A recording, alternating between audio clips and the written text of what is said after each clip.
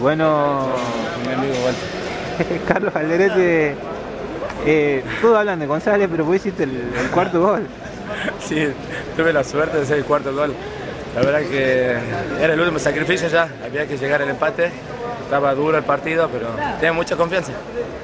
Y entró justo. Te lo grité con alma y vida. Y eso te iba a preguntar, lo gritaste como el mejor gol de tu vida. Me iba a sacar la camiseta, pero pensé en la amarilla. Tengo varias azules ya, así que digo, una más. Pero gracias a Dios se, se ganó por penales, bueno. El sacrificio todo el campeonato este. El partido, te iba a decir, es un, es un resumen de todo lo que hizo Sanga en el campeonato. Sí. Mucho, Mucha fuerza, mucho empuje.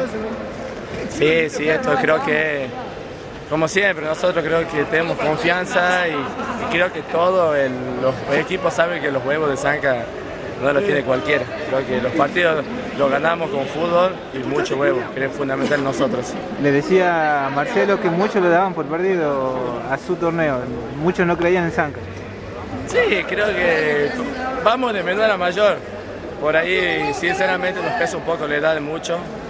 Eh, nos cuesta porque no estamos entrenando seguido. Pero bueno, en la cancha transformamos y, y somos saca que todos quieren. La dedicatoria del título para quien.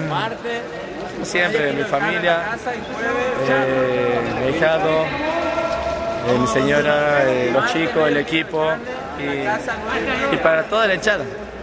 Digo, Que nos sigue siempre. Muchas gracias, Carlos, y felicitaciones por el gol y por el título. Dale, gracias. Igualmente.